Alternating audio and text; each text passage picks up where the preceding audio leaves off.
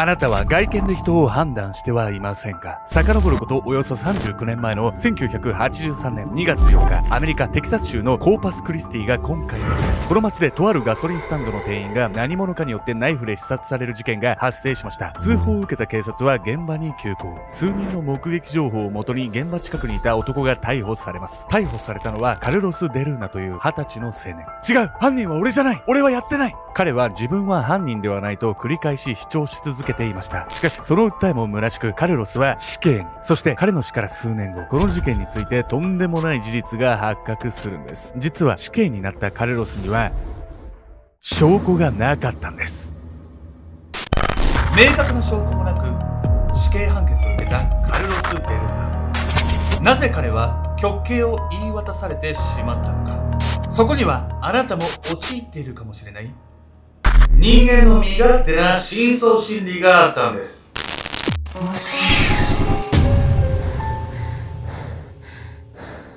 おさすアラブ10番納涼祭りで浴衣デートとかしてみたかった人生です。ケンちゃんです。えー、サンドの飯よりメトラーが好き。やみやみこです。というわけでね、ヤミコさん。なんとですね。なんと？先日。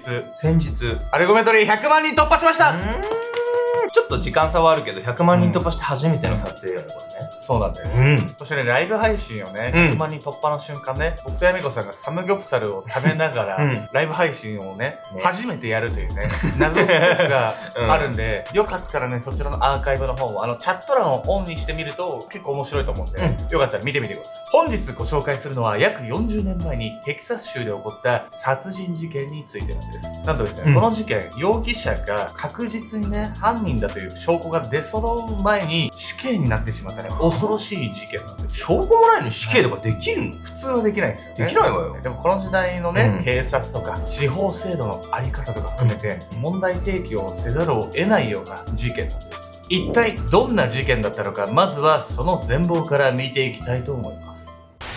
死刑になったカルロス。遡ることおよそ39年前の1983年2月4日。舞台はアメリカテキサス州のコーパスクリスティその日の夜とあるガソリンスタンドの近くで一人の男が警察に取り囲まれていました。信じてくれ。俺はたまたま現場の近くにいただけなんだ。殺してない。激しく叫び抵抗するその男の名前はカルロス・デルーナ。ヒスパニック系の20歳の青年でした。この数十分前付近のガソリンスタンドで女性店員が刺殺される事件が発生。警察は現場に急行し現場近くにいたカルロス・デルーナを現行犯逮捕した。んです。いやいや現行犯ならこいつで間違いないじゃない。何が問題なの？実はですね山本さんこの後に問題が起こったんです。後に裁判にかけられたカルロス・デルーナは殺人罪に問われることに。カルロス・デルーナは一貫して無実を訴え続けたんですが彼に下った判決は死刑1989年12月、カルロス・デルーナの死刑が執行されました。彼は死刑執行の直前、このようなコメントを残していました。いつか真実が明らかになるだろう。もし私がこの事件で処刑されることがあれば、それは正しいことではない。無実を自分から訴え続けたんだけど、死刑になっちゃったってことよね。でも、ここまで言われちゃうと、本当に殺人を犯した人なのかなって思っちゃうわよ、私。おっしゃる通りですね。ヤミコさんの言うようなことを、他の人も同様に感じていたんです。うん、カルロス・デルーナの死刑によって幕引きとなったかに見えたこの事件。しかし、この結果に疑問を持った人物がいました。その人物はコロンビア大学のジェームス・リーブマン教授。彼は法学の専門家で死刑反対派として知られていました。この事件、どこか引っかかるな。カルロス・デルーナに下された判決に不信感を抱いたリーブマン教授は、彼の死刑から4年後の1993年に学生たちとチームを結成し、独自調査を行うことにしたんです。100人以上の証人にインタビューを行う中、リーブマン教授はこの事件の奇妙な点に気がつきました。おかしい。なぜ彼は死刑になったんだ？リーブマン教授がそう思った理由。それはカルロス・デルーナナが犯人だという物証が一つもなかったから。なんと調査の結果、カルロス・デルーナの死刑判決は目撃情報による状況証拠だけで下されていたことが分かったんです。状況証拠だけで死刑とか判決できるもんなの？物的証拠がないとダメなんじゃないの？そうなんです。この事件ですね、警察の捜査にかなりの問題があったんです。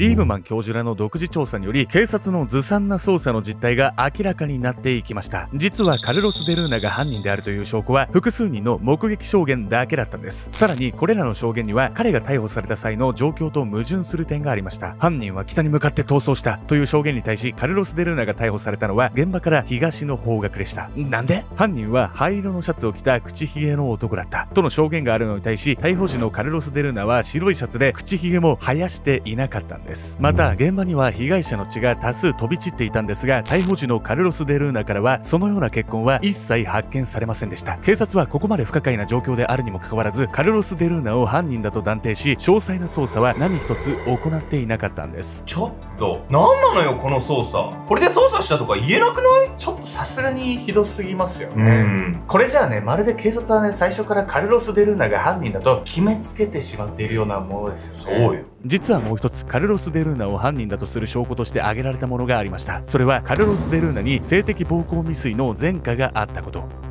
しかしながらこの前科は裁判中の事件とは全く関係のない話。それなのに検察はカルロス・デルーナの前科をやり玉に挙げ彼が犯人だという証拠の一つとして取り上げていたんです。カルロス・デルーナを犯人だとする証拠はこの2つだけ。検察はこれだけの証拠で彼に死刑を求刑したんです。なぜカルロス・デルーナにはそんな曖昧な情報だけで死刑判決が下されてしまったんでしょうか。このことはアメリカの裁判が陪審制であることが関係していると考えられます。陪審制？そうなんです。日本では採用されてないのであまりね馴染みがないように思えますので、うん、今日ねメトラキーワード陪審制度について陪審制度とはアメリカで採用されている裁判制度。一般国民から選ばれた陪審員の議論によって判決が下されます。日本の裁判員制度では裁判官も議論に加わるのに対し陪審制度では陪審員のみで判決を決められるんです。陪審制度の欠点は陪審員が感情に流された判決を下してしまう場合があること。今回であれば事件に直接関係がないにもかかわらずカルロス・デルーナの前科が判決の一つの要因となっていることは容易に想像できるんです。この他にもアメリカの人種構成上白人の陪審員が多くなりやすい点も問題視されています。アメリカにおいて白人の有色人種への差別意識は未だに根深くカルロス・デルーナがヒスパニック系だったことでこの有色人種への偏見が判決に影響を及ぼした可能性も否めないんです。確かにさカルロスに何かしらのバイアスがかかってたのは間違いないわよ、まあ、人のね命がかかってる以上ね公平な判断を下してほしいですよ。うん。また事件が起きたテキサス州はアメリカでも特に保守的な州だと言われています。保守派の人々はキリスト教の教えや地域の伝統を重んじる傾向にあり白人を中心に構成されています。また、テキサス州はアメリカの中で最も冤罪が多いとも言われているんです。ある調査によると、2016年度のテキサス州における冤罪事件は約60件で、2位のイリノイ州の16件に大差をつける結果となっているんです。カルロス・デルーナの裁判においても、こうした地域性のようなものが反映されていたのかもしれません。難しい問題だけど少し歯がゆい感じもするんだけどさ、もしさ、これカルロスがやってなかったとしたらさ、一体誰がやったっていうの？まあね、それを紐解くにあたりね、今回の動画でヤミコさん、ちょっとこう違和感感じます。何が？僕ずっとカルロス・デルーナと言ってたんですよ。ああ、カルロスとかデルーナじゃなくてね。実はね、もう一人重要な人物がいるんです。もう一人のカルロス。事件当日の1983年2月4日、カルロス・デルーナは友人のカルロス・エルナンデスという男とバーで飲み交わしていました。そう、二人は同じカルロスという名前。デルーナとエルナンデスは名前が同じだったことをきっかけに親しくなり、すでに5年来の友人となっていました。その日も楽しく酒を飲んでいた二人でしたが、タバコを切らしたエルナンデスが、すまない、ちょっと買いに行ってくると言い、席を外したんです。まさかこれが悲劇の始まりになろうとは。遅いな。あいつ何やってんだよ。買い物に出たエルなんですが、数十分経っても戻らず、デルーナは苛立っていた。よし、ちょっと様子を見に行ってみるか。痺れを切らしたデルーナは、バーの向かいのガソリンスタンド内の売店へ向かったエルナンデスの様子を見に行くことにした。すると、おいおい、嘘だろ。デルーナの目に飛び込んできたもの。それは、売店の女性店員に襲いかかるエルナンデスの姿だった。やばい前科があったデルーナは警察に自分が疑われることを恐れ慌ててその場を逃げ出す。彼は近くに止まっていたトラックの下に震えながら身を潜めていた。しかし見つかるまでそう時間はかからなかった。いたぞ!お前が犯人だな!警察に取り押さえられるデルーナ。彼は激しく抵抗しこう叫んだ。違う!俺は殺してない!やったのはエルナンデスだ!ちょっと待ってよ。デルーナ人違いで捕まってんじゃない？そうなんです。そう、それだから、デルーナっていうところまで名前を呼んでたってこと？今まで。そういうことなんです。え？カルロスだけだとね、どっちかどっちだか分かんなくなっちゃう、ね、そうね、そうね。そしてね、もしこれ、エルナンデスが犯人だとしたら、うん、カルロスがね、逮捕された時の目撃証言と彼の様子、その二つにね、矛盾があることにも合点がいくんです。カルロス・デルーナは裁判の間ずっとこう主張していました。犯人は俺じゃない。やったのはカルロス・エルナンデスだ。あいつが人を殺すところを見て、俺は怖くなって逃げただけなんだ。リーブマン教授らも当時のこの裁判記録からエルナンデスという名前にたどり着いていました。しかし、ここでもある不可解な点が明らかになるんです。当時の裁判記録を見ながらリーブマン教授はあることに気がつきます。なぜだ？エルナンデスに関する証言が一つもない。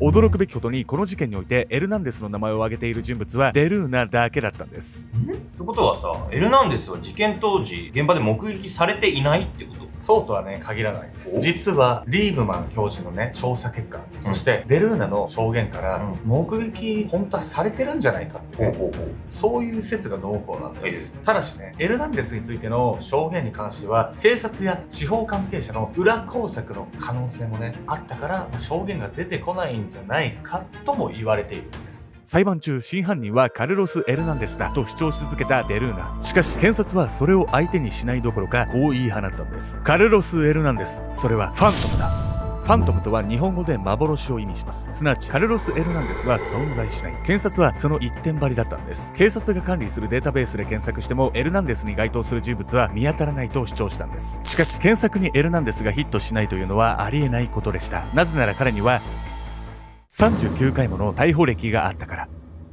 実はエルナンデスは強盗の常習犯でいつもナイフを携帯していました。そしてこのナイフがエルナンデスが真犯人である可能性をより一層高めることになるんです。事件当日被害者はなんとこのナイフと同型のもので殺害されていたんです。さらにエルナンデスはデルーナの死刑執行直前にも別件で逮捕され懲役10年の判決を受けていました。それなのに司法関係者の中でエルナンデスについて言及する者が誰もいなかったというのはあまりにも不自然なことなんです。いやもうこんなの絶対こいつが犯人じゃん。デルーナが捕まった時も同じこと言ってたよ、それ。言ってないわよ。無限に言うぞ、それ。言ってないわよ。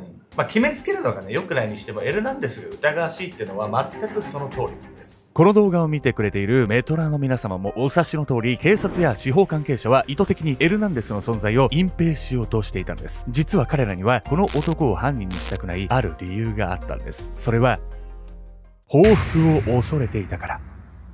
リーブマン教授はエルナンデスは警察の情報屋だった可能性があります。その役割を果たす代わりに警察は彼の犯罪にいくらか目をつぶっていた可能性もあります。と指摘しています。この話がもし本当だとしたら警察はむやみにエルナンデスを逮捕したくなかったはず。彼に重い刑を課した場合、情報屋だったことや警察の闇の部分を世間に公表されるなどの報復を恐れた警察がエルナンデスの代わりにデルーナを犯人に仕立て上げたとしても不思議ではないんです。警察とか司法関係者はさ、自分の保身のためなら人一人死刑になってもいいって考えてでしょ？これ。いくらね、報復が怖いとはいえね、正義を最後まで貫いてほしかったですよね。うるせえな。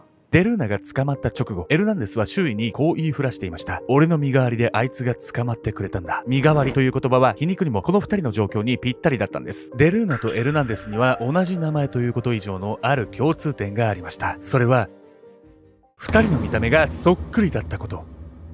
彼らは顔がよく似ているだけではなく、背丈や体型までほぼ同じだったんです。実際、デルーナを目撃したという人物はこのように話します。ヒスパニック系の人ってみんな雰囲気が似ているでしょう。二人はそっくりだし、正直どっちがどっちかはそれほど自信がないですよ。このように死刑の決め手となる目撃証言をした人物ですら非常に曖昧な状態だったんです。それにもかかわらず、デルーナの裁判ではこの目撃証言が一番に重要視されていました。もし同じようにどっちがどっちかわからないんだからデルーナが死刑でいいいだろうと思われていたのだとしたらリーブマン教授らは2012年にこの事件の研究レポートを公開。このレポートは死刑反対論を主張する上での大きな事例として取り扱われました。2021年にはネットフリックスでカルロス、そしてもう一人のカルロスという作品が公開され話題を呼んでいます。現在でも結局はデルーナを犯人だとする意見とエルナンデスが真犯人だとする意見が対立し、その真相は明らかになっていないんです。ただ一つ間違いなく言えるのはきちんとした検証をせず偏見や決めつけで判断を下してしまうのは非常に危険だということ。仮にデルーナが犯人じゃなかったとしても彼はもうこの世にはいません。今回のように取り返しのつかないことになる前に確実な検証がされた上で法の裁きが下されることを僕は願います。